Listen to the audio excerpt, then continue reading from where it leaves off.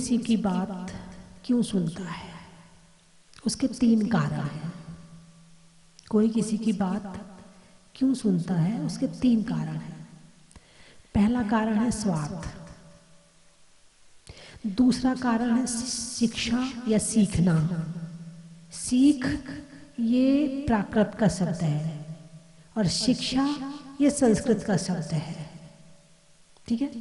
तो खा शब्द प्राकृत में प्रयोग होता है छा शब्द प्रयोग नहीं होता है। जैसे यहाँ पर तुम खीर कह रहे हो ना तो खीर ये प्राकृत का शब्द है। इसको छीर कहोगे तो दूध होता है इसका मतलब। खीर का क्या मतलब होता है? दूध। और तुम खीर का क्या मतलब समझते हो? चावल की गेहूँ की दलिया की आ, या मखाने की या काजू की या फ्रूट्स ये खीर समझते हो। जो भी डाल के उबाल दिया, वो खीर बन गई। लेकिन खीर का प्राकृत में क्या अर्थ होगा? दूध। ठीक है ना? ऐसे ही यहाँ पहला है, स्वार्थ की वजह से सुनते हैं किसी की। दूसरी बात है शिक्षा लेनी है, कुछ सीखना है, इसलिए सुनते हैं। और तीसरी बात है, मज़ा लेने के लिए। हाँ। जिसको व्यर्थ कहते हैं। है ना? राष्ट्र कथा चोर कथा स्त्री कथा भोजन कथा इससे ना तो कोई शिक्षा मिल रही है और न इसमें कोई स्वार्थ है। इसको सुनने का एक ही मतलब है, मज़ा आ रहा है। कुछ लाफ्टर चैनल होते हैं। भाई मतलब कुछ लोग तो ऐसे, कुछ चीज़ें ऐसी होती जो पैसा दे दे के सुनी जाती है। कुछ चीज़ें सुनने के लिए ऐसी होती हैं जो पैसा दे के सुनी जाती है। और कुछ ऐसी होती हैं जिन्हें ज़बरदस्ती बंद करवाया जाता है।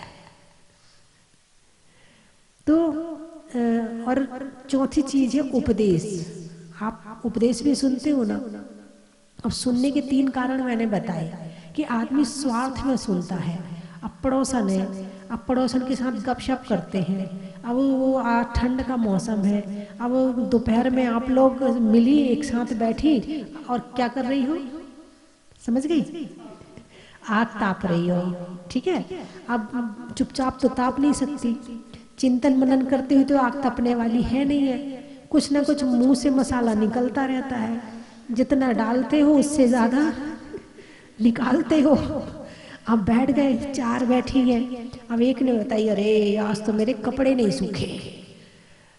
अब दूसरी कह रही, उसको भी याद आ गई, कपड़े तो मेरे भी नहीं सूखे हैं। लेकिन जब तक इसकी बात पूरी नहीं होगी, तब तक बीच में मैं बोल नहीं सकती हूँ। अब वो उसकी सुन रही है। क्यों सुन रही है? क्योंकि अपनी कहनी है, स्वार्थ है। कहने और सुनने के लिए व्यापार है। स्वार्थ में क्या आ गया? व्यापार आ गया। एक बाबू एक अधिकारी की बात सुनता है। वो जो कह देगा, वो रात को, आधी रात को भी कह देगा चलो यहाँ जाओ, ये काम करना है, करेगा। क्यों? क्योंकि उसका स्वार्थ है। क्योंकि उसका स्वार्थ है। यानी कहीं भी कोई भी किसी की बात सुन रहा है तो निस्वार्थ रूप से नहीं सुन रहा है। कहीं ना कहीं कोई ना कोई कारण अवश्य होगा, चाहे वो स्वार्थ हो, प्रेम भी हो सकता। भाई, किसी बाबू को कोई अधिकारी बहुत अच्छा लगता है। हालाँकि काम तो कर रहा है वो पैसे के लिए, लेकिन अच्छा लगता है। अब इसमें स्वार्थ के साथ साथ क्या आ गया? प्रेम आ गया। अब वो दूसरा अधिकारी कहेगा तो चाहे ना सुने, लेकिन वो कहेगा तो ज़रूर सुन लेगा। भाई, क्यों?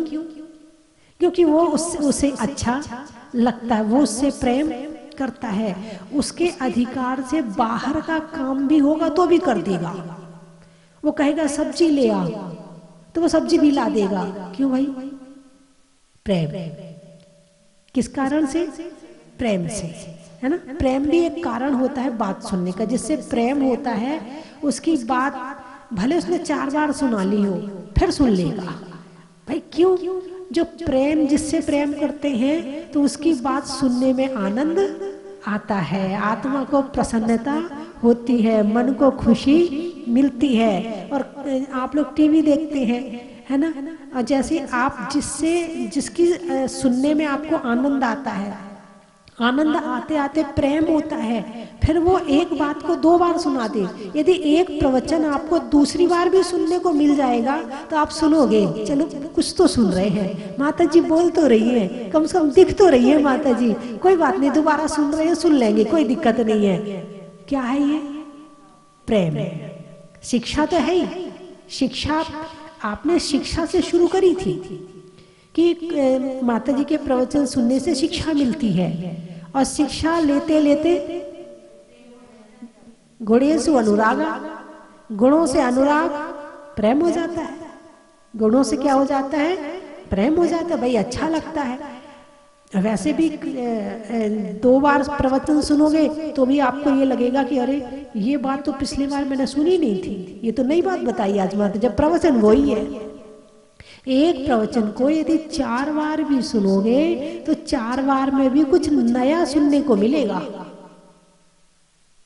उसमें कुछ नई बात मिल जाएगी। भले आपने वो प्रवचन पहले सुन लिया था, लेकिन उसके बाद भी लगता अच्छा ये बात पे तो हमारा ध्यान ही नहीं गया था। पिछली बार तो ये बात भी बोली थी, लेकिन हमारा ध्यान तो गया ही नहीं था। इसलिए एक कहा है कि शास्त्र पढ़ने में भी एक शास्त्र को कम से कम तीन बार पढ़ना चाहिए। कौन सी बात पढ़ते पढ़ते छूट जाती है, पता नहीं चलता है। ऐसे ही एक प्रवचन यदि दोबारा सुनने को भी मिल जाए, तीसरी बार भी सुनने को मिल जाए तो उसमें से आपको कुछ नया ही मिलेगा। तो किसी की बात सुनने का कारण स्वार्थ, प्रेम, और एक और क्या बताई थी? शिक्षा। ये बताया था, ठीक है? तो इतनी वजह से कोई किसी की सुनता है। भाई, घरों में भी सुनते हैं। घर में भी नहीं कई बार मम्मी पापा की बच्चे नहीं सुनते हैं। भाई, प्रेम तो है। देखो, गुड़िया अपनी मम्मी का मुँह देख रही है। माता जी ने मेरी बात कह दी है। प्रेम जब ज़्यादा हो जाता है, प्रेम जब अपनी सीमा से पार कर जाता है तो सुनना बंद हो जाता है। अब वो चाहे बच्चों का हो, चाहे पति पत्नी का हो हाँ पत्नी भी आती माता जी हमारी सुनते नहीं है। अच्छा तुम्हारी ये सुनते नहीं है? हमने कहा, ये सुनते नहीं, बोले, नहीं, सुनते नहीं है। अच्छा तुम मशीन लगवा दो। नहीं नहीं। ये जो मैं कहती हूँ ना, उसको टाल देते हैं, सुनते नहीं है। यानी जब ज़्यादा नजदीकी आ जाती है, जब मर्यादा टूट जाती है, तब एक दूसरे की सुनना बंद कर देते हैं इग्नोर करने लगते हैं। सुनना हुए तो सुनो डर खत्म हो जाता है, भय खत्म हो जाता है, मर्यादा खत्म हो जाती है तो फिर सुनना भी खत्म हो जाता है। ये सुनना तब तक रहेगा जब तक मर्यादा हो, जब तक भय हो, जब तक सम्मान हो सामने वाले के प्रति। सामने वाला बोल रहा है तो उसको कुछ नहीं, मालूम है सारी बातें। फिर भी सुन रहे उसको, भाई सम्मान। चल, कोई बात नहीं। वो बड़ा है हमारे घर का, सुन लेते हैं। कई बार घर में बड़े लोगों को गुस्सा आता है। तो फिर कुछ लोग घर में मतलब गुस्सा करने लगते हैं, ये इतना गुस्सा करते हैं। तो कुछ जो समझदार होते अरे, कोई बात नहीं बेटे, अपने घर के बड़े बुज़ुर्ग हैं, सुन लिया कर, इनको जवाब नहीं देते हैं। अपने घर के बड़े बुज़ुर्गों को उनका सम्मान करने के लिए चुप रहना अच्छा रहता है। वो कह लिया, उनका काम कहना था हमारा, सुनना था हमने, सुन लिया, बुरा नहीं मानते उनकी बात का। ऐसा होता है कि नहीं होता?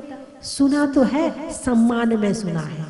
कहीं प्रेम में सुनते हैं, कहीं सम्मान में सुनते हैं, कहीं स्वार्थ में सुनते हैं, कहीं भय से सुनते हैं। अब स्कूल में टीचर है, अब बच्चे को मन नहीं लग रहा, सुनने की इच्छा नहीं है उसकी, लेकिन फिर भी डर है, हैं? अब टीचर लिख रहा है तो इधर उधर देखने लगेगा, और टीचर जैसे सामने देखता है, फिर सावधान हो जाएगा।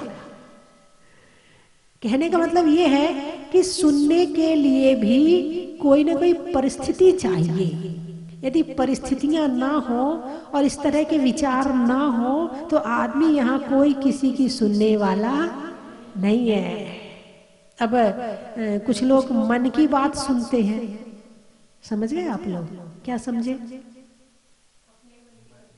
नहीं। वाह, मैंने कहा मन की बात तो मोदी जी याद आ गए। हैं, अब आप देखो, मन सबके पास है। मन की बात करते सारे हैं, लेकिन मन की बात शब्द कहने पे कौन याद आया? इसका मतलब ज़रूर सुनते हैं आप उनकी बात। इसका मतलब ज़रूर सुनते हैं। कोई उनकी बात प्रेम में सुनता है और कोई उनको सुनाने के लिए सुनता है कि इनने क्या सुनाया, फिर मैं इनको सुनाऊँगा। और कुछ इसलिए सुनते कि इनने क्या अच्छी बात बता दी, पता नहीं कौन सी अच्छी बात आ जाए। हर व्यक्ति की अपनी पर्सनालिटी होती है। अभी एक मोटिवेटर जो आए थे, पिछले वर्ष हमने बुलाया था, जब युवा सम्मेलन का प्रोग्राम हुआ था तो युवाओं को संबोधित करने के लिए मैंने बुलाया था। तो उनसे चर्चा हुई तो बोले माता जी जब से मोदी जी प्रधानमंत्री बने हैं तब से सारे नेताओं के मन में बोलने की कला का एक जागृति आ गई कि सारे नेता बोलना चाहते हैं। पहले नेता बोलते नहीं थे। अब सारे नेता बोलना चाहते हैं। बोले, एक नेताजी ने मुझे बुलाया। बोले, उनको बड़ी टेंशन थी। इतनी टेंशन थी, वो किसी सभा में जाते थे तो टेंशन पहले हो जाती थी कि वहाँ बोलना पड़ेगा और बोलना मुझे आता नहीं है। अब भाई, यदि एक व्यक्ति जागृत हो जाए बड़ा। तो सारे जागृत हो जाते हैं। अब पहले के प्रधानमंत्रियों को इतना नहीं बोलना पड़ता था, इतना नहीं बोलते थे, लेकिन आप आपके जो प्रधानमंत्री आए हैं, जो चल रहे हैं, उनके पास वाणी भी है, विचार भी है, भाव भी है, समर्पण भी है, ईमानदारी भी है। एक नेता में जितने गुण होने चाहिए, वो सारे गुण उनके अंदर में है। अब गुण की बात तो छोड़ो, लेकिन बोलने वाली बात सबने ले ली कि जब वो बोलते हैं तो मैं कैसे पीछे रह जाऊँ? अब मोटिवेटर को बुला बुला के सीख रहे बेचारे कमरे में पहले। और जो सीख जाते हैं, बड़े खुश होते हैं, उनकी टेंशन खत्म हो जाती है। तो मन की बात कहते ही आपको कौन याद आया? मोदी जी। इतने प्रधानमंत्री आए कभी किसी की किसी ने सुनी तो सबकी होगी, लेकिन इतना पूरा भारत जिसको सुन रहा हो, पूरा विश्व जिसको सुन रहा हो, वो एक ही प्रधानमंत्री हुआ है। हैं? और उसके बाद पहले तो बहुत लोगों को ये ही नहीं पता होता था, हमारे देश के आधे लोगों को पता होता था प्रधानमंत्री कौन है। अब तो सारे जागृत हैं, कोई किसी से पूछो, सपने में भी बता देगा कि प्रधानमंत्री कौन है? आप नाम बोलो, मैं तो इशारा कर दूँगी, आप नाम बोल देंगे। मैंने कहा, मन की बात। उनने कहा, नरेंद्र मोदी, कुछ अब जैसे कुछ लोग मुझे देखकर लोगों को जाजपुर की याद आ जाती है। और तो कुछ कह भी अरे वो जाजपुर वाली माता जी यानी स्वस्ति भूषण माता जी यानी जाजपुर वाली माता जी अब मेरा नाम दूसरा हो गया, उपनाम हो गया जाजपुर वाली माता जी तो सुनना, बात चल रही है सुनने की, कि लोग किसी की सुनते हैं तो क्यों सुनते हैं? उसमें कोई ना कोई कारण ज़रूर होता है, बिना कारण के कोई किसी की सुनता नहीं है। अब सामने वाला सुन रहा है तो इसमें सुनने वाले की क्वालिटी है या सुनाने वाले की क्वालिटी है? अरे बोलिए ना। अच्छा यदि सुनाना वाला अच्छा सुना रहा है तो सुनने वाला सुनेगा। और सुनाने वाला अच्छा नहीं सुनाएगा तो सुनने वाला ऐसे यही यही है ना आपका अर्थ? अरे बोलिए ना। यदि एक आध बार मजबूरी में सुनना पड़ा तो सुन लेगा, और बाकी नहीं सुनेगा। आपसे पूछ रही हूँ मैं। इसका मतलब क्वालिटी सुनने वाले में है या सुनाने वाले में है? सुनाने वाले में है। अच्छा चलो।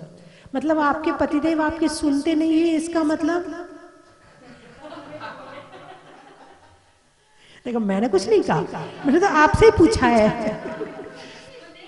यदि आपके पतिदेव आपकी सुनते नहीं है, इसका मतलब क्वालिटी आपकी सास आपकी सुनती नहीं है, इसका मतलब? आपकी बहू आपकी सुनती नहीं, इसका मतलब? आपका बॉस यदि आपकी नहीं सुनता, इसका मतलब? देखो मैंने कुछ नहीं कहा आपसे ही पूछ रही थी मैं। चलो आपने इस बात को मान लिया कि हमारी क्वालिटी में कमज़ोरी है इसलिए सामने वाला हमारी सुनता नहीं है। और जब अपनी कमज़ोरी पता चल जाए तो उसको सुधारना चाहिए नहीं सुधारना चाहिए। चलिए तो सुधारेंगे नहीं सुधारेंगे सुधारेंगे ना तो नहीं सुनने के दो कारण होते हैं। पहली बात या तो आप एक बात को दस बार बोलते हो। एक बार बोल दिया, दो बार बोल दिया, बस बहुत है। पीछे बढ़ जाते हो। ऐसा कर लेना, ऐसा कर लेना, भूल मत जाना, ऐसा कर लेना, ऐसा कर लेना, ऐसा। और पागल हो जाता, चुप हो जाओ। बहुत बोल लिया। एक बात को तो पागल समझ रखा, मुझे दस बार सुनाती हूँ, मैं भुलक्कड़ हूँ क्या? होता कि नहीं होता? है अब महिलाओं को लगता है सामने वाले कितनी भी बड़ी उम्र का हो, वो उसे बच्चों की तरह ट्रीट करती है। चाहे वो कितना, चाहे वो पचास साल का क्यों ना हो, लेकिन वो महिलाओं के दिमाग में तो बच्चों की तरह ही रहता है। वो उसको वो ही ट्रीट करती है जैसे दस साल के बच्चे को ट्रीट करती हैं। उसको आता है गुस्सा मुझे क्या समझ रखा है? वो सुनना ही बंद कर देता है। वो फिर भी सुनाना नहीं छोड़ती तो झगड़ा शुरू हो जाता है। ऐसे ही है ना? है? तो कितना बोलना है? इसका मतलब ज़्यादा बोल रहे हैं, इसलिए नहीं सुन रहे पहली बात। दूसरी बात, बोलने में क्वालिटी हो तो सामने वाला कहेगा ए क्या कहा? दोबारा बोलना? यदि तुम्हारे बोलने में क्वालिटी होगी तो वो कान लगा के सुनेगा और बोलने में क्वालिटी नहीं होगी वो तो बोलती रहती है, इसका तो काम ही बोलने का है। चलो यहाँ से। ऐसा हो सकता कि नहीं हो सकता? और आजकल के बच्चे तो बहुत समझदार आ रहे हैं। आजकल की पीढ़ी तो बहुत समझदार आ रही है। मम्मी, आप गुस्सा क्यों कर रही हो? हम कर तो लेंगे। मम्मी, आप चिंता क्यों करती हो? हमारा काम है, हम अपने आप कर लेंगे। मम्मी, आप ज़्यादा मत बोला करो। ऐसा बोलते क्या बच्चे? मम्मी कह रही हाँ और बच्चे कह रहे, ना। इसका मतलब बच्चे झूठ बोल रहे हैं। अपने पोल नहीं खुलवाना चाहते हैं। आजकल बच्चे इतने होशियार हो रहे हैं कि उन्हें मम्मी को चुप करने के लिए सौ बातें हैं उनके पास में। है? मम्मी को तो एक मिनट में चुप कर देते हैं, एक मिनट में। मम्मी, आप आप चुप रहा करो, आप बहुत बोलती हो। मेरे दोस्त के सामने बोला मत करो, मम्मी, आप, आपका बोलना ज़्यादा अच्छा नहीं लगता है, मम्मी। पहले के बच्चे तो मर्यादा रखते थे। पहले के बच्चे मम्मी से डरते भी थे। पहले की मम्मियाँ तो बच्चों को कूट भी देती थी। अब कूट के दिखाएँ। अभी भी कूटती है। चलो, फिर तो ठीक है। फिर तो मामला सही है। कूटती है तब तो सही है। अच्छा नानी मम्मी को कूटती थी, मम्मी तुम्हें कूटती है। मतलब ये परंपरा पुरानी है। हाँ ये परंपरा चल रही है अभी। फिर भी आजकल बहुत कम हो गई है परंपरा। पहले तो टीचर भी बच्चों को खूब कूटते थे। और मम्मी पापा भी कह के जाते थे, अच्छे से पढ़ाना, ज़रूर डरना मत, मैं कुछ नहीं कहूँगा, कूटना पड़े तो कूट देना। हाँ लेकिन अब तो हाथ लगा के तो दिखाए टीचर। अभी हम जब बिहार कर रहे थे, बहुत दिन पहले की बात है तो एक छात्रावास में हमारा प्रवास था। और वो गाँव के बच्चे उसमें आकर रहते थे, तहसील थी वो। तो वहाँ पढ़ते थे बच्चे तो फिर मैं ऐसे वो जो वहाँ के वार्डन थे, वहाँ का जो इंचार्ज था, मैंने वैसी चर्चा चल पड़ी तो मैंने कहा, बच्चे अच्छे से पढ़ाई करते होंगे। बोले माता जी बस मत पूछो। मैंने कि क्यों, क्या हुआ? बोले, बच्चों को बोल सकते नहीं, कह सकते नहीं। वो पढ़े तो ठीक, नहीं पढ़े तो ठीक। यदि एक शब्द बोल दिया, एक शब्द डांट दिया तो उनके मम्मी पापा गाँव के बच्चों के मम्मी पापा लड़ने आ जाते हैं। और जब लड़ने आ जाते हैं तो फिर हम, जब वो हमसे लड़ेंगे तो तुम जानो, और तुम्हारा काम जाने और तुम्हारा बच्चा जाने। पढ़े तो ठीक, ना पढ़े तो ठीक। और होता यूँ है, यदि पढ़ता है तो हमने पढ़ाया है। हैं? और नहीं पढ़े तो टीचर की गलती। मारा तो टीचर की गलती और नहीं पढ़ा तो भी टीचर की गलती। मारोगे तो हम लड़ेंगे, नहीं पढ़ेगा तो भी लड़ेंगे। बेचारी टीचर इस समय जो सरकारी टीचर है ना, बड़े मुश्किल में है इस समय के सरकारी टीचर। उनको दोनों तरफ़ से यदि रिज़ल्ट बच्चों का अच्छा आया तो ठीक, और नहीं आया तो सरकार की तरफ़ से आ जाती है उनके पास में। गाइडलाइन। कि भाई तुमने पढ़ाया क्यों नहीं? रिज़ल्ट कम क्यों आया? बच्चे बच्चे के कमज़ोर क्यों तुम्हारी क्लास के? और यदि मारे पीठे डरा धमका के पढ़ाए तो माँ बाप लड़ते हैं।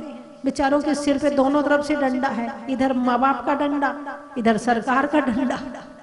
दोनों तरफ़ का डंडा है। तो बच्चों को पढ़ने के लिए भी भय की ज़रूरत बहुत ज़्यादा है।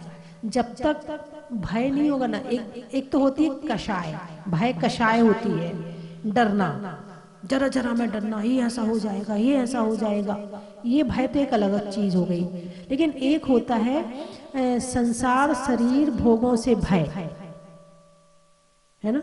संसार, शरीर, भोगों से भयभीत रहना। संवेग भावना कहलाती है। कौन सी भावना? जो प्रसम संवेग, अनुकंपा और आस्तिक सम्यक दृष्टि के चार गुण होते हैं तो वो संसार से भयभीत रहता है। भय एक बहुत अच्छी चीज़ भी है। यदि बच्चों को टीचर से भय होगा तो बच्चे पढ़ेंगे। यदि बच्चों को माँ बाप से भय होगा तो बच्चे गलती नहीं करेंगे। और बहू को यदि सास से भय होगा तो बहू गलती नहीं करेगी। और यदि सास को बहू से भय होगा तो सास भी सही रहेगी। बिल्कुल सही बता रही होना चाहिए। ये बहुत ज़रूरी है। एक दूसरे का डर बहुत ज़रूरी है। यदि डर ना रहे तो इस दुनिया का नक्शा ही बदल जाए। ये तो एक दूसरे का सम्मान, एक दूसरे की आन, एक दूसरे की मर्यादा, होना से बहुत सारी कमियाँ दूर हो जाती, समाज का भय। समाज से डर ना हो तो आदमी बड़े बड़े गलत काम कर ले और हो ही रहे। जिनको डर नहीं है, वे कर ही रहे गलत काम। और जिनको डर है, वो आज भी बचे हुए हैं, सुरक्षित हैं अवगुण में नहीं फंस रहे हैं, आज भी गलत काम नहीं कर रहे हैं। तो समाज का भय भी बहुत ज़रूरी है। समाज का भय, देश का भय, कानून का भय, है? और कोई ना कोई एक व्यक्ति सबके जीवन में होना चाहिए कि वो उससे डरता हो पहली बात। और दूसरी बात, वो जो कह दे, वो कभी टाल ना सके। सबके जीवन में एक ना एक कोई ना कोई होना चाहिए। यदि तुम्हारे जीवन में कोई नहीं है तो इसका मतलब है कि कहीं ना कहीं आगे जाके गड़बड़ हो सकती है। इसलिए जीवन में एक व्यक्ति कोई ना कोई हो चाहे वो गुरु के रूप में हो चाहे वो तुम्हारे घर के बड़े बुज़ुर्ग के रूप में हो चाहे तुम्हारे समाज के अध्यक्ष के रूप में हो चाहे वो किसी भी रूप में हो लेकिन एक ना एक कोई ना कोई तो होना चाहिए चाहे वो पति क्यों ना हो कोई ना मिले तो पति को मान लो कि ये जो कहेंगे हम इन्हीं की सुनेंगे और सबकी सुनेंगे लेकिन ये जो कह देंगे इनकी सारी सुनेंगे। कोई ना कोई होना चाहिए तभी इस जीवन में कुछ हम प्राप्त कर सकते हैं। जैसे कि बाग में बाढ़ लगाते ना बाढ़, है? बाढ़ लगा दो तो सुरक्षित रहता है बाग। बच जाते हैं फूल। और बाढ़ ना हो तो कोई भी जानवर खा जाएगा, खत्म कर जाएगा। ऐसे ही भय की बाढ़, अनुशासन की बाढ़ तो होनी ही चाहिए जीवन में, जिसके जीवन में अनुशासन की, भय की, मर्यादा की, आन की बाढ़ नहीं होती है, वो कहीं भी लुट जाता है। जैसे बाघ कहीं भी कोई भी उसे खराब कर जाएगा ऐसे ही इंसान के अच्छे गुण कहीं भी लुट जाएँगे। कोई भी उसको लूट सकता है। जिसके जीवन में डर नहीं है उसे कोई भी कहीं भी धोखा दे देगा। और लुट जाओ। तो बात चल रही थी कि सुनते क्यों है? किस पर बात चल रही थी? कोई किसी की सुनता क्यों है? अभी तो बात शुरू भी नहीं हो पाई कि समय हो गया। है? तो अभी तो केवल संसार की बात चली थी। उपदेश क्यों सुनते ये मैं लास्ट में आऊँगी। पहले केवल सुनने पे चर्चा हो जाए कि कोई किसी की सुनता क्यों है? तो पहली बात, स्वार्थ में। है क्यों सुनता है? स्वार्थ में। यदि हम इनकी नहीं सुनेंगे तो ये हमारी नहीं सुनेंगे। और हम इनकी सुनेंगे तो ये हमारी सुनेंगे। एक ये भी हो सकता है। अब एक जो दुकानदार होता है, दुकानदार होता है और जाकर के ग्राहक जो है, सामान खरीदता है उसके यहाँ और सामान पसंद ना आए, सारा सामान खुलवा ले और खरीदे ना तो दुकानदार गुस्सा करता है क्या? कम करते हैं। जो करते हैं ना, वो ना समझदार है। हैं? यदि जो करते हैं वो ना समझदार है। जो दुकानदार, ग्राहक के ये सब सारी चीज़ें सुन भी लेता गुस्सा भी सुन लेता है। साड़ी हाँ अभी हमारी बहन जी कह रही थी कि सारी साड़ियाँ फैला दो और ना लो तो गुस्सा करते हैं। वो दुकानदार ना समझदार है। जो समझदार है, पता वो क्या कहता है? अरे बहन जी, आपको पसंद नहीं आई, कोई बात नहीं। बस माल आने वाला है, नया माल आने वाला आप जब आओगी ना तो आपको ज़रूर पसंद आएगा। आप दोबारा आ जाना।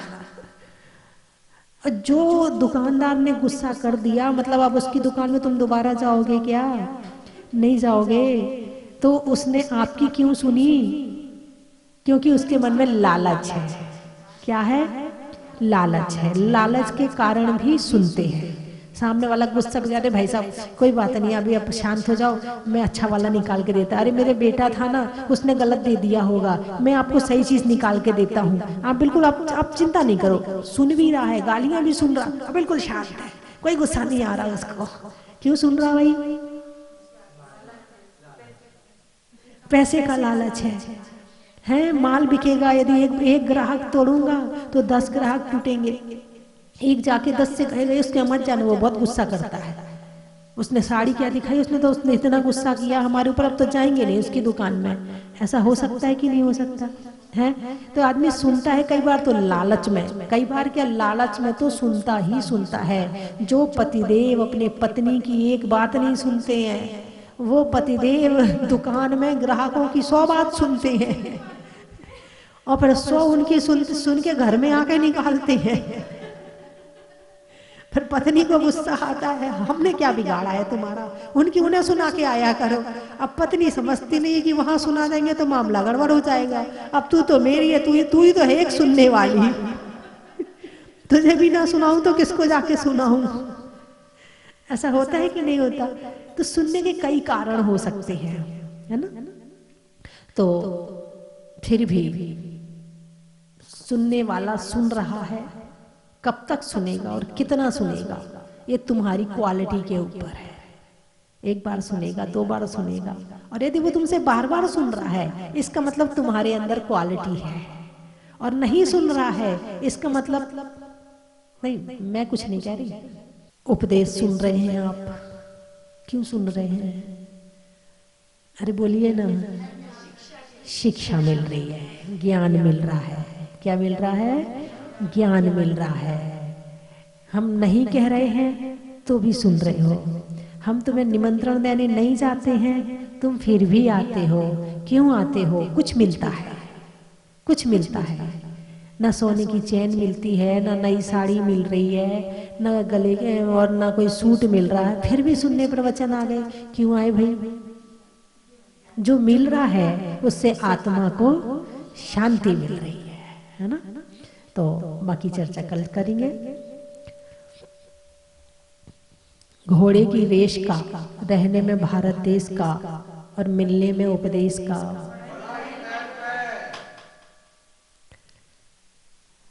बोलो, शब्द बोलो आप। आपके पास शब्द भी नहीं है। सतियों में अनंग सरा का, भोजन में बरा का और आप आने वालों में पदमपुरा का। रोटी में घी का, हरियाणा में जी का, तीर्थों में समय शिखर जी का।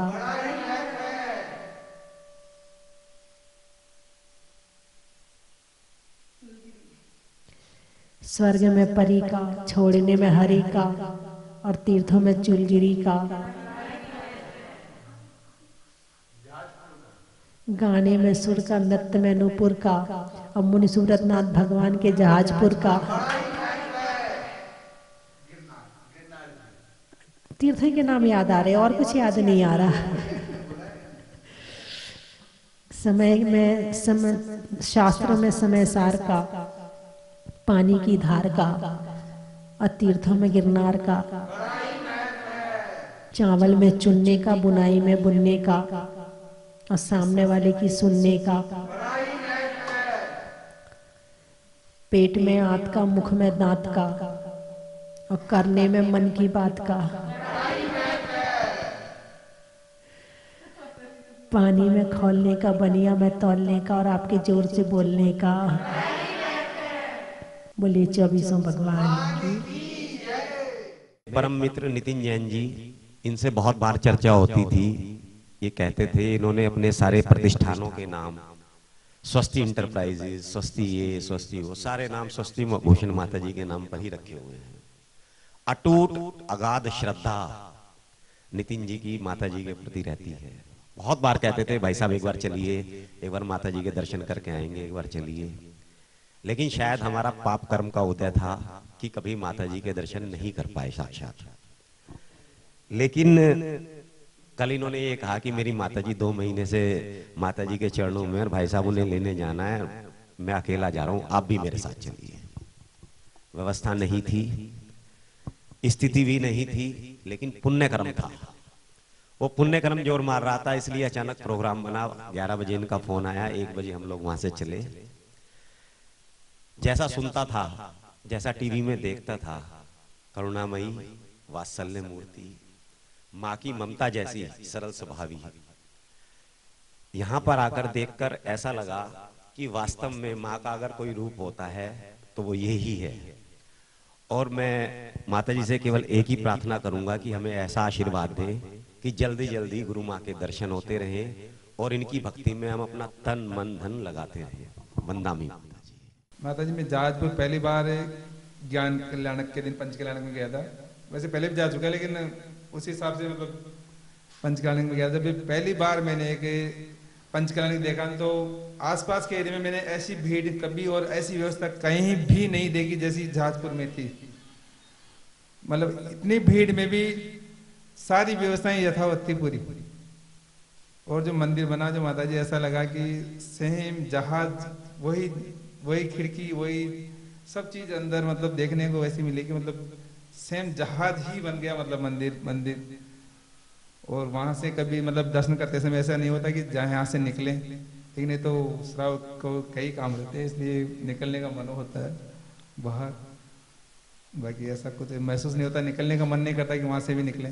चन की थाल को सजाओ रे आज, रत्नों की थाल को भर लाओ रे आज। आओ आओ, करे रे गुणगान आरती भगवन की। आओ आओ, करे गुणगान आरती भगवन की। आओ आओ, करे गुणगान आरती भगवन की।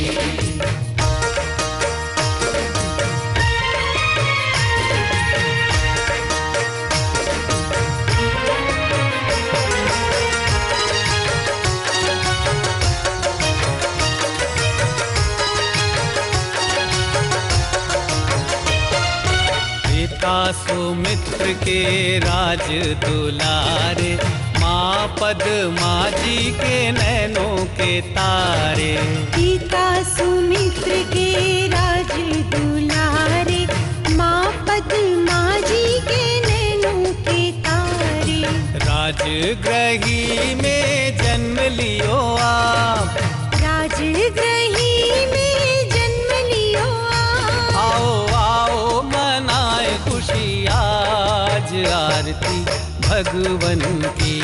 आओ आओ, करें गुणगान, आरती भगवन की। आओ आओ, करें गुणगान, आरती भगवन की।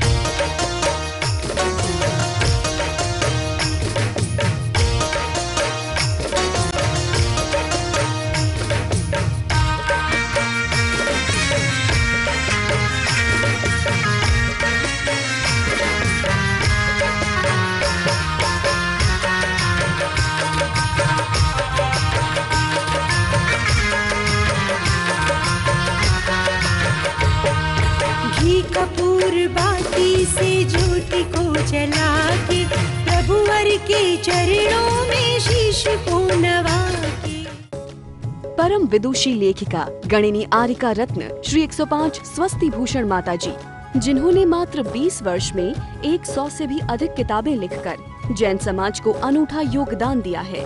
बड़े बड़े विधान, जैसे कल्पद्रुम महामंडल विधान सिद्ध चक्र महामंडल विधान, इंद्रध्वज महामंडल विधान एवं विशेष जनपद, पूजांजलि आदि महत्वपूर्ण साहित्य, बहुत ही सरस, सरल व सुबोध।